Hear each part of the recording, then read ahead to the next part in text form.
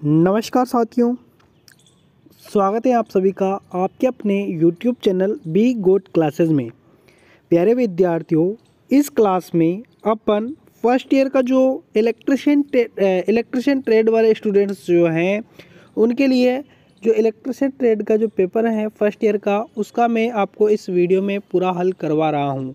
तो आप अगर इलेक्ट्रिशियन ट्रेड से हैं और साथ ही फ़र्स्ट ईयर के स्टूडेंट्स हैं तो इस क्लास को आप अंतिम तक ज़रूर देखना। इसमें आपको बहुत सारा फ़ायदा होने वाला है। आपको ये पता चलेगा कि किस तरीके के क्वेश्चंस एग्ज़ाम में पूछे जाते हैं क्या क्या क्वेश्चंस आते हैं, किस टाइप के क्वेश्चंस बनते हैं। तो यहाँ पर आपको जब आप पेपर को हल करेंगे तो आपको पता चलेगा कि किस तरीके का पेपर एग्ज़ाम में पूछा जाता है।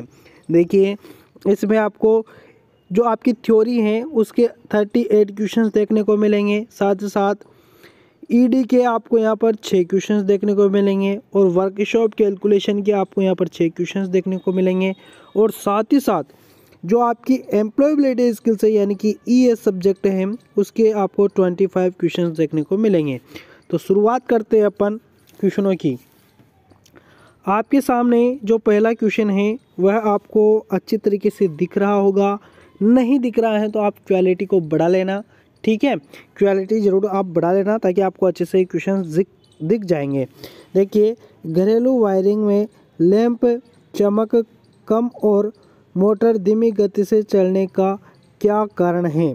यानी कि आपके घर में अगर लैंप लग रहा है, या मोटर चल रही हैं मोटर धीरे गति से रोटेट कर रही हैं लैंप कम चमक रहा है डिम जल रहा है तो कारण क्या है? तो उच्च मान श्रेणी परिपथ दोष। यानी कि जो सर्किट है, उसमें कहीं ना कहीं शॉर्ट हो रहा है, कहीं ना कहीं फॉल्ट हो रहा है। उसमें जो जो रजिस्टेंस है, वो फॉल्ट दर्शा रहे हैं। ठीक है? तो यहाँ पर आपका डी ऑप्शन कम्प्लीटली सही आंसर हो जाएगा। नेक्स्ट जो क्वेश्चन है डाई स्टॉक सेट का क्या उपयोग है? डाई स्टॉक सेट जो होता है, वह बेलनाकार जो पाइप्स होते हैं पाइप जो होते हैं, उन पर जो चूड़ियाँ होती हैं उनको बनाने के लिए काम में लिया जाता है। ठीक है? तो चूड़ियाँ काटने के लिए, यानी कि बाहे, यानी कि बाहर के थ्रेड काटने के लिए अपन डाई सेट का उपयोग करते हैं। अगला क्वेश्चन है, भारी बार उठाने और स्थानांतरित करने के लिए किस पद्धति का उपयोग किया जाता है? तो अपन भारी भार को उठाने या एक जगह से दूसरी जगह ले जाने के लिए क्रेन का उपयोग करते हैं। तो कहेंगे क्रेन और स्लिंग अगला क्वेश्चन आपके सामने है आर एल सी श्रृंखला सर्किट के प्रतिबाधा की गणना करने के लिए किस सूत्र का उपयोग किया जाता है? तो प्रतिबाधा की गणना करने के लिए जिस सूत्र का उपयोग करते हैं, वो होता है जेड बराबर under root R square plus कोष्टक X L minus X C square तो ये ऑप्शन कहाँ है? तो ध्यान से देखिए, यहाँ पर तो अपन को तीनों में देखने को नहीं मिल रहा है। बाकी देखिए यहाँ पर ऑप्शन डी वाला ऑप्शन या सी वाला। सॉरी सॉरी सॉरी देखिए यहाँ पर सी ऑप्शन में आपको सेम टू सेम ये कहीं देखने को मिल रहा है। तो सी ऑप्शन यहाँ पर कम्प्लीटली आपका सही आंसर होगा।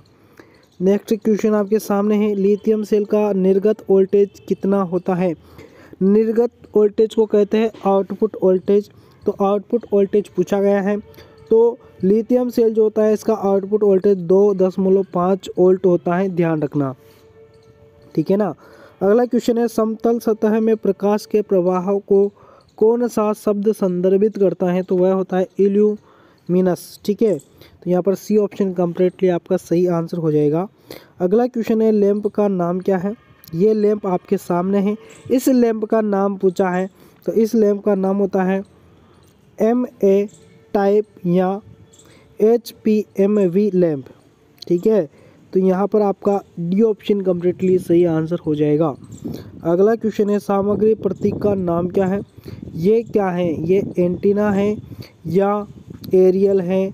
ये क्या है? ये बहु स्थिति एकल ध्रुव स्विच हैं। ठीक है, क्या है ये? बहु स्थिति एकल ध्रुव स्विच इसको कहते हैं। यहाँ पर आपका सी ऑप्शन कम्प्लीटली सही आंसर हो जाएगा। अगला question, power watt meter reads कौन सा है? तो पावर वाट मीटर रीड्स जो हैं, वह वास्तविक शक्ति हैं। अगला, परिपथ का कुल वोल्टेज क्या है? देखिए, सारे जो है ना यहाँ पर जितने भी सेल्स हैं, वो सारे समांतर क्रम में जुड़े हुए हैं। जब समांतर क्रम में कितने भी जुड़े हो, लेकिन समान मात्रा के हैं तो यहाँ पर वोल्टेज जो होगा, वो कवई होगा, यानी कि एक पॉइंट पाँच ही होगा, क्योंकि ये सभी क्या है? एक पॉइंट पाँच वोल्ट के सेल्स लगे हुए हैं तो यहाँ पर आउटपुट भी क्या होगा? एक पॉइंट पाँच वोल्ट ही होगा। अगला क्वेश्चन है, विद्युत सामग्री का नाम क्या है? विद्युत सामग्री आप यहाँ पर ध्यानपूर्वक देख सकते हैं। ये होल्डर है, लेकिन ये होल्डर कौन सा है? ये जो होल्डर है यह एडिशन स्क्रू प्रकार होल्डर है। यहाँ पर बी ऑप्शन आपका कम्प्लीटली सही आंसर हो जाएगा। अगला क्वेश्चन है, आरेख का क्या नाम है? आरेख आपके सामने है, ये लेआउट है। तो ये है स्थापना योजना। क्या कहेंगे इसको? स्थापना योजना कहेंगे, ठीक है? इंस्टॉलेशन प्लान इसको कहेंगे। ठीक है, अगला क्वेश्चन आपके सामने है, पोल समायोजित वितरण ट्रांसफार्मर में किस शीतलन विधि का उपयोग किया जाता है? तो इसके लिए तेल प्राकृतिक, हवा प्राकृतिक का प्रयोग करते हैं। ऑयल नेचुरल एयर नेचुरल ठीक है। अगला क्वेश्चन आपके सामने है, विशिष्ट प्रतिरोध की एस आई इकाई क्या है? विशिष्ट प्रतिरोध की जो इकाई होती है, वह ओम मीटर होती है। तो यहाँ पर ए ऑप्शन आपका कम्प्लीटली सही आंसर होगा। थोड़ा सा मैं फास्ट ले रहा हूँ। क्यों? क्योंकि देखिए, यहाँ पर जो आपके क्वेश्चन है, वो काफ़ी सारे हैं। सेवेंटी फाइव क्वेश्चन है। तो सेवेंटी फाइव क्वेश्चनों को हल करवाने के लिए टाइम ज़्यादा लगता है। मैं नहीं चाहता कि टाइम ज़्यादा लगे। मैंने वैसे इन क्वेश्चनों को अच्छी तरीके से मैंने निम्न की पी में जब मैंने पढ़ाया था उस समय मैंने अच्छी तरीके से पढ़ा रखा है। तो आप डिस्क्रिप्शन में मैंने सभी जो पी डी है, आपके फ़र्स्ट ईयर के जितने भी आपको पढ़ना है आईटीआई पास करने के लिए, उन सभी के लिंक मैंने डिस्क्रिप्शन में दिए हैं। तो आप वहाँ से उन सभी को पढ़ लेना, ठीक है? उनको ज़रूर देख लेना आप, ताकि आपकी जो तैयारी है ना, मज़बूत तरीके से हो सके, ठीक है? और क्वेश्चन से आप दूर भगे ना, ठीक है? अगला क्वेश्चन आपके सामने है, जो कि है, शुष्क सेल में धनात्मक इलेक्ट्रोड के रूप में क्या प्रयोग होता है? तो धनात्मक रूप में कार्बन का प्रयोग करते हैं। अगला क्वेश्चन आपके सामने है ईएलसीबी का उद्देश्य क्या है?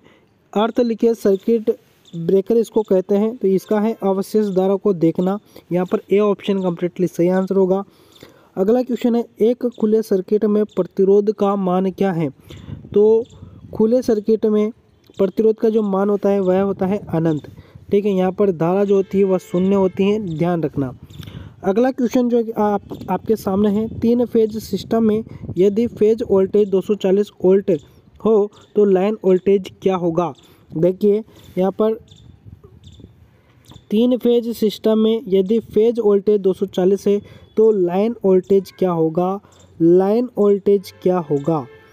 ठीक है, यहाँ पर line voltage what is the line voltage in three phase system if the phase voltage in 240 तो देखिए, यहाँ पर सिंगल पेज में 240 होता है। तो थ्री पेज है तो यहाँ पर कितना होगा? 415 होगा। नॉर्मल सा क्वेश्चन है। यहाँ पर डी ऑप्शन कम्प्लीटली सही आंसर है।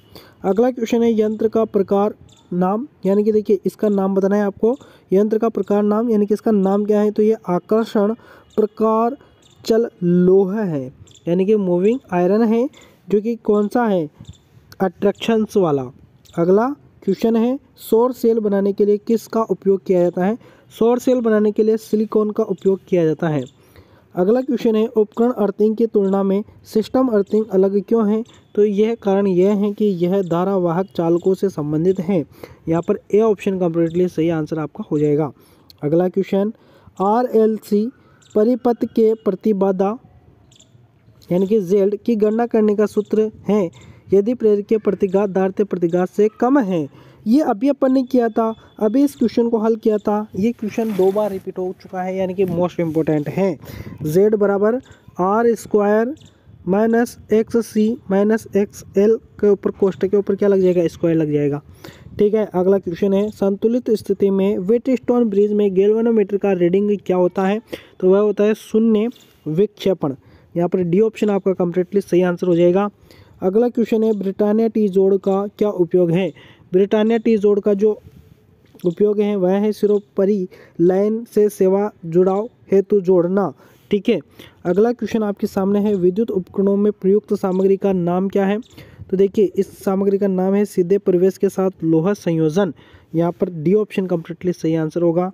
अगला क्वेश्चन आपके सामने, इस सड़क सुरक्षा चिन्ह का क्या नाम है? यह है आवश्यक चिन्ह है। ठीक है? काफ़ी बार बता दिया है। अगला क्वेश्चन है, आरेख का प्रकार क्या है? आरेख यहाँ पर आप ध्यानपूर्वक देख सकते हैं। यह है सीडी की वायरिंग या वायरिंग डायग्राम कहते हैं इसको। वैसे ये डायग्राम है, लेकिन ये जो डायग्राम में जो चित्र बन रहा है ना सीडी की वायरिंग बन रहा है। ठीक है? अगला क्वेश्चन है, जो कि है, इस औज़ार का नाम क्या है? ये औज़ार है कटिंग प्लायर ठीक है? डायगोनल कटिंग प्लायर इसको कहते हैं। यहाँ पर डी ऑप्शन कम्प्लीटली सही आंसर होगा। अगला क्वेश्चन है सोल्डरिंग विधि का क्या नाम है? सोल्डरिंग विधि का क्या नाम है? तो ये गन सोल्डरिंग है, ठीक है? सभी जानते हैं सोल्डरिंग गन है तो यहाँ पर गन सोल्डरिंग आपका बी ऑप्शन कम्प्लीटली सही आंसर हो जाएगा। अगला क्वेश्चन है एल्यूमिनियम चालक की चालकता का क्या मान है? एल्यूमिनियम चालक की चालकता का जो मान होता है, वह पैंतीस मो प्रति मीटर होता है। अगला क्वेश्चन इस सुरक्षा चिन्ह का नाम क्या है? ये क्या है? ये सुरक्षात्मक सूचनात्मक चिन्ह है। ठीक है, सूचनात्मक चिन्ह है। क्या है ये? सूचनात्मक चिन्ह है। अगला क्वेश्चन है, द्वितीय सेल किस नियम से कार्य करते हैं? तो वे फेराडे के विद्युत अपघट्टे का नियम पर कार्य करते हैं। अगला क्वेश्चन है, प्रकाश का नाम क्या है? तो यहाँ पर प्रकाश का नाम पूछा है तो यह है स्पॉट लाइट क्या है ये? स्पॉट लाइट है, ध्यान रखना। अगला क्वेश्चन फ़ूड मिक्सर में रोटरी स्विच का कार्य क्या है? तो यहाँ पर रोटरी स्विच का कार्य पूछा है तो ये है गति चयन। यहाँ पर ए ऑप्शन आपका कम्प्लीटली सही आंसर हो जाएगा। अगला क्वेश्चन है शॉर्ट सर्किट टेस्ट द्वारा ट्रांसफार्मर की किस हानि का निर्धारण किया जाता है तो ताम्र हानि। यहाँ पर आएगा आपका ए ऑप्शन कम्प्लीटली सही आंसर अगला क्वेश्चन है, जो कि है एल श्रृंखला एमसीबी के साथ कौन से विद्युत उपकरण प्रदान किए जाते हैं तो यहाँ पर जनरल लाइटिंग ठीक है? एल यानी कि जल जल जनरल लाइटिंग ठीक है? अगला क्वेश्चन आपके सामने है ट्रांसफार्मर का तेल खराब होने का कारण क्या है? तो ट्रांसफार्मर का तेल जब खराब होता है, जब उसके अंदर नमी चली जाती है। जब उसके अंदर नमी चली जाती है ना तो वो क्या होता है कि नमी को सोख लेता है और फिर उसमें तेल तेल में पानी मिल जाता है तो क्या हो जाता है? शॉर्ट सर्किट का कारण बन जाता है। तो यहाँ पर ए ऑप्शन कम्प्लीटली सही आंसर आपका हो जाएगा। अगला क्वेश्चन है microwave open sorry microwave oven में सिस्टर स्टीरर मोटर का कार्य क्या है? तो स्टीरर मोटर का जो कार्य है वह यह है कि घूमता है और विद्युत चुंबकीय ऊर्जा को दर्शाता है। यहाँ पर आपका डी ऑप्शन कम्प्लीटली सही आंसर हो जाएगा। देखिए, थ्योरी के क्वेश्चंस आपके यहाँ पर समाप्त होते हैं। अब आते हैं अपन वर्कशॉप कैलकुलेशंस के क्वेश्चंस पर। देखिए, क्वेश्चन है आपके सामने, पानी का विशिष्ट उष्मा का मान क्या है? पानी की विशिष्ट उष्मा का जो मान होता है, वह एक होता है, ठीक है? ध्यान रखना। अगला क्वेश्चन है, जो कि है, किस पदार्थ के द्रव्यमान प्रति इकाई आयतन को क्या कहते हैं? तो कहते हैं घनत्व, ठीक है? यहाँ पर डी ऑप्शन कम्प्लीटली सही आंसर अगला क्वेश्चन है साइन थीटा किसके बराबर होता है? साइन थीटा जो होता है, वह ऑपोजिट साइड बटा हाइपोट्यून्स क्या होगा यहाँ पर? ऑपोजिट साइड बटा हाइपोट्यून्स ठीक है? अगला क्वेश्चन है, पानी का क्वंथनांक क्या होता है? तो 100 डिग्री सेल्सियस होता है, ध्यान रखना। अगला क्वेश्चन है, एक इंच में कितने मिलीमीटर होते हैं? एक इंच में पच्चीस दशमलव चार मिलीमीटर होते हैं। अगर सेंटीमीटर पूछे तो दो दशमलव पाँच चार सेंटीमीटर होते हैं, ठीक है? अगला क्वेश्चन है, इनमें से मूलभूत इकाइयाँ कौन सी हैं? मूलभूत जो इकाई है, वह है लंबाई। द्रव्यमान और समय। ठीक है? सी ऑप्शन कम्प्लीटली सही आंसर तो छः क्वेश्चन यहाँ पर आपके वर्कशॉप कैलकुलेशन के भी समाप्त होते हैं। अब आते हैं अपन एडी पर, यानी कि इंजीनियरिंग ड्राइंग पर। क्वेश्चन है, सामग्री के पारंपरिक प्रतीक को पहचाने। प्रतीक यह है, इसको आप पहचान ले कि ये आखिर में है क्या। तो ये है कांच। क्या है ये? कांच है, ठीक है? अगला क्वेश्चन आपके सामने है ड्राइंग अभ्यास के अनुसार कौन सा ड्राइंग आयाम सही है? तो यहाँ पर देखिए कौन सा सही है। तो यहाँ पर देखिए आपके सामने यही क्या है? सही है। बाकी गलत क्यों है वो मैं आपको बता दूँगा ताकि आप अच्छे से समझ पाओगे इस क्वेश्चन को। यहाँ पर ये ऊपर लिखे होते हैं तो इसलिए सही है। ठीक है, बाकी दूसरे ऑप्शन आप देखो। देखिए इसमें क्या गड़बड़ है। इसमें ये नीचे हैं तो इसलिए गलत है। देखिए यहाँ पर और ऑप्शन देख लो। ये वाला इसमें क्या है? इसमें ये नीचे इसलिए गलत है। ठीक है? और यहाँ पर देखिए, यहाँ पर ध्यान से देखना। यहाँ पर ये ऊपर है, एक नीचे है। ठीक है? तो ये यहाँ पर गड़बड़ है। ये ऊपर लिखाते हैं हमेशा लाइन के, ठीक है? इसलिए गलत हो जाते हैं। अगला क्वेश्चन है, लाइन बी को पहचाने। लाइन बी को पहचानना है। यहाँ पर देखिए, लाइन जो बी दी गई ना, कहाँ दी गई है? ये वाली, ठीक है? ये क्या है? ये वीमा है। क्या है ये? वीमा है। यहाँ से लेकर यहाँ तक की लंबाई को ये दर्शा रही हैं। ये क्या है? वीमा है। डायमेंशन है। क्या कहेंगे इसको? डायमेंशन कहेंगे। डायमेंशन लाइन कहते हैं इसको सी ऑप्शन है ना? हिंदी में वीमा भी कहते हैं, आयाम रेखा भी कहते हैं। अगला क्वेश्चन आपके सामने चित्र में दर्शाए गए उपकरण का नाम की पहचान करें ये क्या है? चांदा है। सभी जानते हैं। नॉर्मल सा क्वेश्चन है। सिंपल सा क्वेश्चन है। यहाँ पर डी ऑप्शन आपका कम्प्लीटली सही आंसर है। अगला क्वेश्चन है ए फोर्ट सीट का ट्रिम किया हुआ आकार क्या है? इसको ज़रूर आप याद रखना। 210 इंटू दो सौ सत्तानवे। ये अंक आप याद रखना, क्योंकि ये भूल जाओगे आप, ठीक है? 210 इंटू दो सौ सत्तानवे याद रखना आप, ठीक है? अगला क्वेश्चन आपके सामने चित्र में दिखाए गए प्रिज्म का नाम क्या है? ये प्रिज्म क्या है? ये प्रिज्म चतुर्थ है, ठीक है? स्क्वायर वाला है, क्योंकि वर्ग वाला है, ठीक है? क्या है? वर्ग वाला है। तो यहाँ पर आपका स्क्वायर प्रिज्म, आपका यहाँ पर डी ऑप्शन कम्प्लीटली सही आंसर हो जाएगा। अगला, अब आते हैं एम्प्लॉयबिलिटी स्किल्स के क्वेश्चन पर। सिंपल से क्वेश्चन है, ठीक है? कौन सा एक अच्छा संचार माना जाता है? अच्छा संचार कौन सा माना जाता है? वह है रिसीवर के प्रति प्रेषक सकारात्मक है। ठीक है? Sender is positive towards receiver ठीक है? मतलब कि जो भेजता है ना, उसको ऐसा लिखना चाहिए ताकि जो उसको प्राप्त करता है संचार, उसको अच्छा लगे। ऐसा नहीं कि नेगेटिव लो, बुरा लगे। उसके बारे में नकारात्मक चीज़ें नहीं होती है। तो बी ऑप्शन यहाँ पर कम्प्लीटली आपका सही आंसर होगा। अगला क्वेश्चन है कार्डिनल नंबर कौन सा है? कार्डिनल नंबर एक होता है। ठीक है? ध्यान रखना। अगला क्वेश्चन है, व्यक्तिगत कमज़ोरी का उदाहरण निम्नलिखित में से कौन सी है? तो वह है आलसी होना। ठीक है? अगला क्वेश्चन है, आर्थिक विकास में उद्यमी की भूमिका। तो देखिए, ये होती है प्रति व्यक्ति आय में सुधार। अगला क्वेश्चन है, किस ओरिएंटेशन में टेक्स्ट चौड़ाई वार प्रिंट होता है? तो वह होता है लैंडस्केप यहाँ पर आपका डी ऑप्शन सही है। अगला क्वेश्चन है, तनाव क्या है? तनाव क्या होता है? निराशा या निराशा की भावना? यही क्या होता है? तनाव होता है। अगला क्वेश्चन है, नौकरी या काम में होना रोज़गार कहते हैं उसको एम्प्लॉय कहते हैं। अगला क्वेश्चन प्रश्न का उत्तर देने का एक अच्छा तरीका क्या है? Shall we start the discussions is yes let's start. इनको आप डायरेक्टली याद रखो, क्योंकि इंग्लिश में आपके दिक्कत आ सकती हैं। इसलिए इनको ऐसे ही याद रख लो, ठीक है? Yes, let's a start. इस तरीके का क्वेश्चन आ जाए तो लगा देना, ठीक है? अगला क्वेश्चन है, रिक्त स्थान में उचित सर्वनाम के साथ भरें। तो देखिए यहाँ पर क्या आएगा। सी मेड दिस केक मतलब कि वह केक बना सकती है स्वयं का। हर सेल पाएगा यहाँ पर।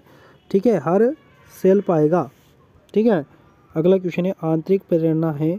तो आंतरिक प्रेरणा क्या है? वह है ज़्यादा देर तक टिके।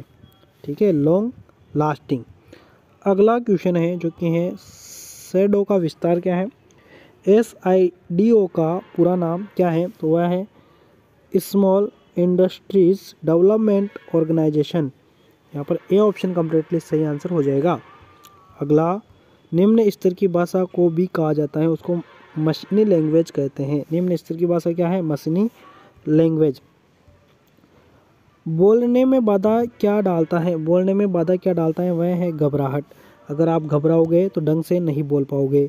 अगला क्वेश्चन है, जो कि है शब्दों में निम्नलिखित सेट को सार्थक वाक्य में फिर से व्यवस्थित करें तो वह है C worked as a school teacher. यहाँ पर ए ऑप्शन कम्प्लीटली सही आंसर हो जाएगा। अगला क्वेश्चन है, सभी डिलीट की गई फाइलें कहाँ स्टोर की जाएगी? तो वह रिसाइकल बिन में स्टोर की जाएगी। अगला क्वेश्चन आपके सामने है, रिक्त स्थान में उचित प्रतिवर्ती सर्वनाम के साथ भरें तो वह है C has hurt herself इसमें भी हर सेल्फ आएगा भैया, है ना? बी ऑप्शन यहाँ पर भी कम्प्लीटली सही आंसर होगा। अगला क्वेश्चन है, कौन सी फ़ंक्शन कुंजी आपको किसी फ़ाइल का नाम बदलने की अनुमति देती हैं। तो यहाँ पर कौन सी फ़ंक्शन कुंजी आपको किसी फ़ाइल का नाम बदलने की अनुमति देती है?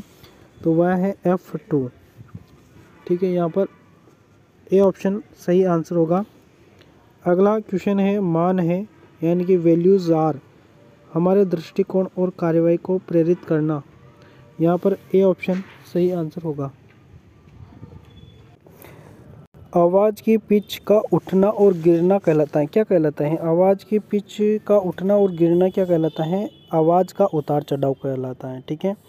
अगला क्वेश्चन है शॉर्ट विश्लेषण में एस का अर्थ क्या है?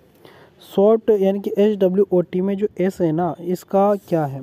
इसको आप जो पी डी एफ़ है ना उसमें देखोगे इससे सारे का बता रखा है। तो पी डी एफ़ आप ज़रूर पढ़ना है ना? स्ट्रेंथ कहते हैं उसको। क्या क्या है? इस, इसको क्या कहेंगे? स्ट्रेंथ कहेंगे ठीक है? अगला क्वेश्चन है जो कि है आपके सामने दिए गए वाक्य में, वाक्य के लिए उपयुक्त डब्ल्यू एच शब्द चुने। तो डब्ल्यू एच क्या आएगा? Animal do you like which आएगा यहाँ पर? Which animal do you like ठीक है? अगला क्वेश्चन आपके सामने सी पी यू में होता है। सी पी यू में कंट्रोल यूनिट और ए एल यू होता है। ठीक है? ध्यान रखना कंट्रोल यूनिट और ए एल यू होता है। अगला क्वेश्चन आपके सामने कौन सा एक सही चैनल है जिसके माध्यम से बाज़ार ग्राहकों तक पहुँच सकता है? तो क्या है वह? वह है मैन्युफैक्चरर्स रिटेलर और कस्टमर यहाँ पर आपका सी ऑप्शन कम्प्लीटली सही आंसर होगा। अगला क्वेश्चन जो कि है कट कमांड के लिए एक शॉर्टकट की कुंजी क्या है? तो शॉर्टकट कुंजी है कंट्रोल प्लस एक्स है ना? कट कमांड के लिए क्या है? कंट्रोल प्लस एक्स ये सी कॉपी के लिए होता है। और वी जो है ना, ये होता है पेस्ट के लिए, ठीक है? अगला क्वेश्चन है आर टी आई है। आर टी आई क्या है? राइट टू इन्फॉर्मेशन यहाँ पर डी ऑप्शन आपका सही आंसर होगा। तो यहाँ पर आपके सेवेंटी फाइव क्वेश्चन मैंने इस वीडियो में करवा दिए हैं। रेगुलर तरीके से अब ये सीरीज़ आपकी चलती रहेगी। तो चैनल को अगर आपने सब्सक्राइब नहीं किया तो कर लेना। वीडियो को अपने मित्रों तक ज़रूर शेयर कर देना ताकि वो भी देख सकें। वो भी अपनी जो क्लास तक पहुँच बना सके, ठीक है? तो वीडियो को अपने मित्रों तक ज़रूर शेयर कर देना, ठीक है? मिलेंगे नेक्स्ट वीडियो में, तब तक के लिए धन्यवाद, शुक्रिया।